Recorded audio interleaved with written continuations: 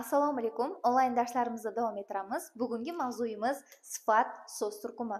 Sifat haqida siz bilan batafsil va batartib gaplashamiz. Sifat so'z turkumi asosan otga bog'lanadi va undan anglashilgan predmetning turli xil belgilarini ifodalovchi mustaqil so'zlar sifat deyiladi. Sifatlar qanday qanaqa qaysi kabi so'roqlardan biriga javob bo'ladi? Katta xona uzun daryo og'ir eshik qabariq shisha nordon anor devoriy gazeta qishki olimpiada issiq suv aqlli mavjudot kabi. E'tibor bersangiz yuqoridagi so'zlarda biz sifatni otga bog'ladik. Sifatning sifatga bog'lanish holati ham uchrab turadi.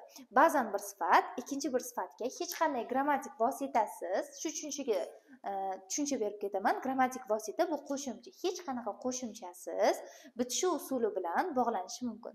Bunda dastlabki sifat belgining belgisini ifodalagan sanaladi. Masalan rangdor vassali mehmonxona qizil gulli darvoza baland boloxonali uy qora ro'molli ayol. Ayolning belgisi ro'molli ekanligi ro'mollining belgisi qora ekanligi. Ba'zan sifat fe'lga bog'lanishi ham mumkin. Sifat fe'lga bog'lanib harakatning holatini bildirishi mumkin. Bunda sifat so'z turkumi sifatida saqlanadi lekin sifatning ravishlashuv hodisasi yuz beradi. Ba'zan sifat fe'lga bitishi usuli bilan bog'lanadi. Ravishning grammatik vazifasini shu o'rindagina bajarib turadi. U ravishga aylanmaydi ravishlashadi xolos. Qaysi so'z turkumi bu yerda desa sifat olinadi. Bunda sifat ravishlashadi ravishning so'roqlariga javob bo'ladi. Ravishning gapdagi sintaktik vazifasi holni oladi. Ravish kabi harakat holatni belgisini bildiradi.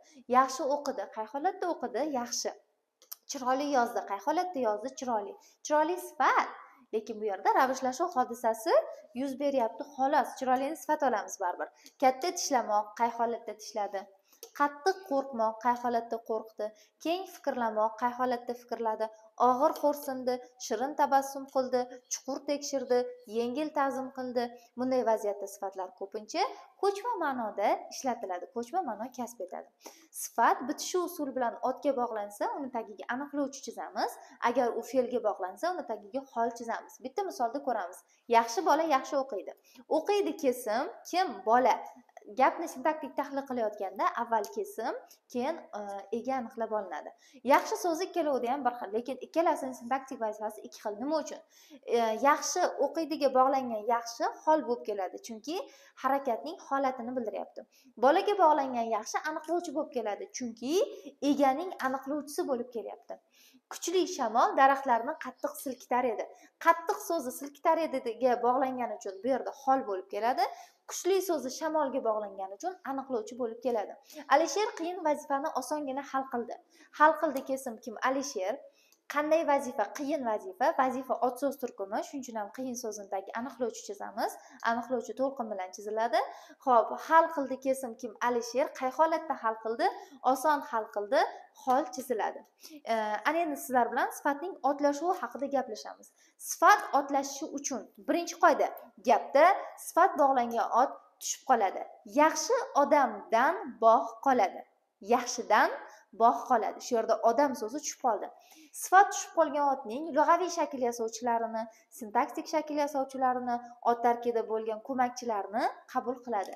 Yaxshidan bog' qoladi. Dan bu yerda kelishik qo'shimchasini oldi otga tegishli bo'lgan.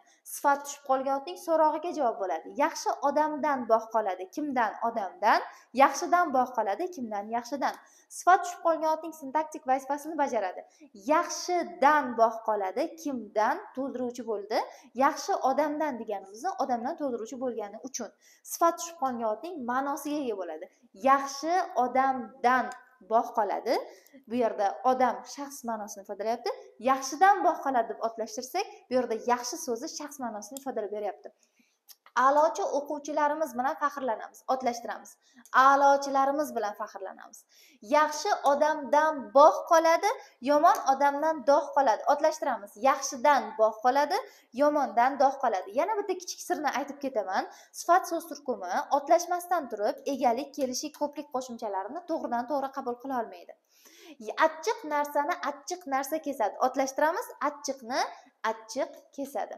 Dono va aqllilar hech qachon yo'ldan adashmaydi shu yerda dono va aqlli odamlar bo'lgan. Endi senlar o'qib oq qorani taninglar. Oq qoradan keyin tushum kelishiga to'g'ridan to'g'ri kelolmaydi demak bu yerda otlashish bor. To'g'ridan to'g'ri otlashish ham mumkin. Hech qanday qo'shimchalarni qabul qilmasdan bilimli biladi bilim qimmatin. Bilimli so'zi sifat. Lekin bu yerda shaxs ma'nosini ifodalayapti demak otlashgan bilimli odam bo'lgan o'zi aslida. Bilimsiz ne bilgay bilim qiymati bilimsiz odam bo'lgan. Yusuf hojib yomonu yaxshini xulqidan bilgil yomonu yaxshi odam ni sifatdan keyin to'g'ridan to'g'ri egalik kelishiga kelolmaydi demak otlashgan yomonni yomon yaxshini yaxshi bil. Navoiy qalamiga mansub ushbu misrlarda yomonni yaxshini so'zlari otlashib kelgan. Yomon odam bilan yo'ldosh bo'lsang yomon odamdan burun o'lasan. Yaxshi odam bilan sirdosh bo'lsang yaxshilik bilan o'lasan. Otlashtirsak yomon bilan yomondan. Yaxshi bilan tarzida bo'ladi. Dono odam durdan a'lo otlashgan. Dono durdan a'lo. Baxilning qo'lida oy bo'lsa olamni yoritmas. Baxil odamning kattaga katta bo'l kichikka kichik. Kattadan keyin to'g'ridan to'g'ri gap kelolmaydi otlashgan. Hunarli o'lmas hunarsiz kun ko'rmas. Hunarli odam hunarsiz odam ma'nosida otlashib kelgan. Ana endi sizlar bilan sifatlarning ma'no guruhlari haqida gaplashamiz. Sifatlar ma'no guruhlariga ko'ra oltiga bo'linadi. Shundan birinchisi rang tusni anglatuvchi sifatlar. Hamma rangni bildiradigan so'zlarni bemalol qo'rqmasdan sifat so'z turkumi olsak to'g'ri bo'ladi. Ham qani e, ko'raylikchi hamma ranglarni bilar ekanmizmi? Oq qora qizil sariq ko'k zangori yashil. Alvon rang. Rang barang yoki to'q qizil alvorang deyiladi. Gulos eshitmagan bo'lsangiz demak gulos sifat so'z turkumiga tegishli to'q jigarrang rang gulos rang deyiladi. Gungurt rang qora sariq rang moviy bilamiz. Nafarmon ol rang qizil rang oq qora pushti jigarrang kulrang novvot rang qaymoq rang rang barang targ'il. Bu yerda targ'il e, sigirning turini ham rangini ham bildirib beradi. Ola chipor yoki ola chipor juftlashib kelsa shafaq rang zarg'aldoq rang binafsha moshguruch so'zi otdan ko'chgan odam e, soch soqoliga nisbatan ishlatiladi odam yoshi o'tgandan keyin sochlariga oq qoralay boshlaydi va natijada oq qora oq qora bo'lib qoladi soch soqol. Ana shu e, rangni bildirish uchun moshguruch so'zi ishlatiladi otdan ko'chgan bu. Tilla rang rang charos. Charos e, rangni bildirib keladi charos rang. Qora ma'nosida. Endi ot ya'ni tulporni turkumiga mansub ba'zi so'zlar tulporni turini ham otini ham bildirib beradi. Masalan saman to'riq chovkarot jironot bo'zto'rig'ot masalan jironot e, ot jigarrang rangda bo'ladi. U yerda jiron otning navini ham rangini ham bildiryapti. To'riq qora ot ya'ni endi hidni anglatuvchi sifatlar xushbo'y badbo'y muattar qo'lansa sassiq. Mazza ta'mni anglatuvchi sifatlar siz bilmaydigan sizga yangilik bo'ladigan so'zlar bor bu yerda. Achchiq shirin sho'r nordon chuchuk yasama sifat chuchumoq fe'lidan yasalgan taxir kakra. Kakra degan e, achchiq o't bor. Achchiq narsalarga nisbatan ishlatiladi. Masalan achchiq bodom ta'mi kakratam deyiladi. Laziz xushtam chuchumaltam e, masalan taomga ham shakar ham tuz birdaniga solinsa chuchvaltam hosil bo'ladi. Talxatam pishmagan xurmoni yeb ko'rganmisiz? Aynan o'shanda tuyadigan tamiz pishmagan xurmo ta'mi talxa tam deyiladi. Ot so'z turkumi tegishli bo'lgan shakar novvot namakob zahar zaqqum kabi otlar eh, ham ot ham mazza ta'mni bildirib kelishi mumkin. Keyingisi o'rin va payt bilan bog'liq belgini anglatib beradigan sifatlar ularni ikkinchi nomi bor makon zamon sifatlari deyiladi. Odatda gi ki qi qo'shimchalari bilan yasaladi. Masalan tong tonggi kuz kuzgi kech kechgi keyin keyingi mana keyin ravish keyingi sifat. Avval ravish avvalgi sifat. Qish ot qishki sifat. Yoz ot yozgi sifat. Ertangi bugungi dastlabki ilk sobiq yuqorigi quyi palata masalan tuban joy tungi chetki bulturgi devoriy kabi sifatlar o'rin va payt bilan bog'liq sifatni makon zamon sifatlarini yasab beradi. Makon zamon sifatlari asosan otlarga ravishlarga gi ki qidagi so'z yasovchilarni qo'shish bilan hosil qilinadi. Oldingi tashqi ichki kuzgi har kungi maktabdagi kabi keyingi e, sifatni ma'no turlari hajm o'lchov shakl ko'rinishni anglatib beradigan sifatlar e, bemalol ko'rib chiqsak bo'ladi. Keng tor uzun chuqur chog' chog'dek deydi kichkina degani. Yirik jimitday jajji hayhotday ixcham mayda. Mana shu yerda i harfi bilan bog'liq bir qoida aytib ketaman. I harfidan keyin har doim chuqur til orqa undoshi keladi. E'tibor bering ixcham. Ixtiro masalan. Mayda mitti azim ulkan degan muazzam azim yanada e, ulkan mo'jaz kichkina katta kichik og'ir vazmin yengil so'ngsiz bepoyon tubsiz umuman masalan teng ulkan ulug' katta gigant azamat. Bular endi e'tibor bering hajmni bildirdi. Shakl ko'rinishga o'tdik endi dumaloq yassi yassi oyoq deymizku tekis. Uzunchoq cho'zinchoq qiyshiq to'garak aylanadigan do'ng tekis do'mboq do'ndiq qabariq botiq jingalak jikkak jikkak judayam puxta e, insonlarga nisbatan ishlatiladi o'zi kichkina bo'ladi judayam chaqqon insonlarni jikkak insonlar deymiz. Lo'nda gap lo'nda qisqa ma'nosida lo'ppi miqti silliq g'adir budur egri adil qomat naysimon sharsimon itsimon odamsimon ro'msimon qolgani simon qo'shimchasi bilan yasaldi keyingisi xarakter xususiyat holatni anglatib beradigan sifatlar. Insonlar va jonivorlarning xarakter xususiyatlari va jonsiz predmetlarning xossalarini anglatuvchi sifatlar. Abadiy. Abjir e, insonlarni xarakteri va narsalarni xususiyatini bildirib beradi. Avom adabiy ajib ajnabiy azaliy aziz ayyor aldamchi ahmoq babaq xo'rozga nisbatan ishlatiladi.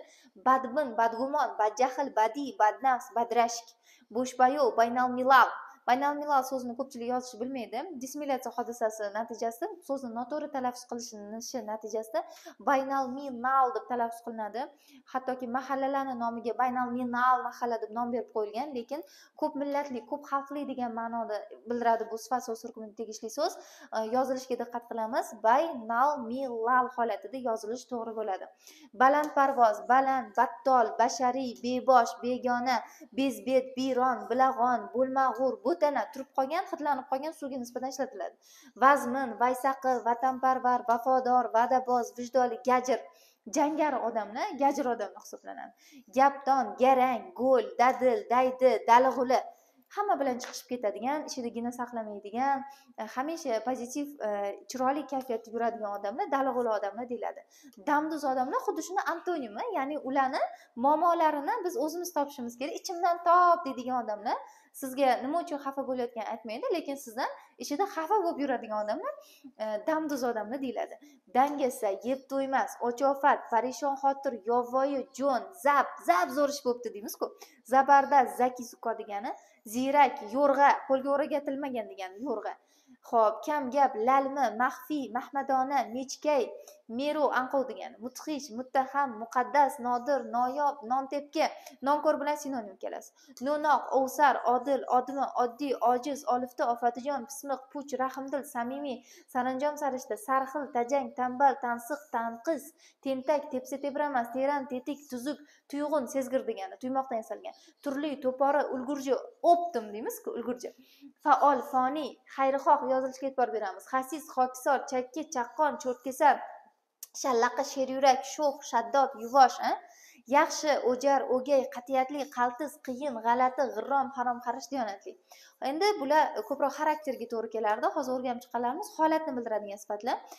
Abgor aybdor alag'da judayam bir notinch holat. Alamzada ayanchli apoq chapoq barkamol boxabar barqaror baxtiyor bedor besaranjom bo'liq vayron voqif gavjum giryon yig'lovchi degani. Dabdala darg'azab yopiq issiq iliq kir ko'hna yangi eski luchak e, kiyimsiz degani shaftoliga nisbatan ishlatiladi. Po'sti yo'q shaftoli degani. Mal'un mahrum mast mashhur mosivon muallaq mulzam muntazir muhtoj mushtoq noqulay navqiron ochiq olazarak obod ozod osoyishta osuda pajmurda. Palag'da tuxumga nisbatan ishlatiladi. Aynigan ummaydigan yoqimsiz yaroqsiz. Paxmoq pachoq pinhon pokiza semiz sovuq sokin so'lg'in tayyor shay hoziru nozir toza tarang tashna to'q farovon xom xarob xasta xafa xijil xomush xor xursand shalabbo eski qaram qizg'in va qistalang ho'l. Э, bugungi darsimiz shulardan iborat edi. Sifat so'z turkumini ertangi darslarda davom ettiramiz. Sizga manfaatli bo'ladigan bo'lsa e, registon sergeli e, youtube kanaliga instagram va telegram sahifalariga obuna bo'ling va darslarni kuzatishda davom eting. Salomat bo'ling!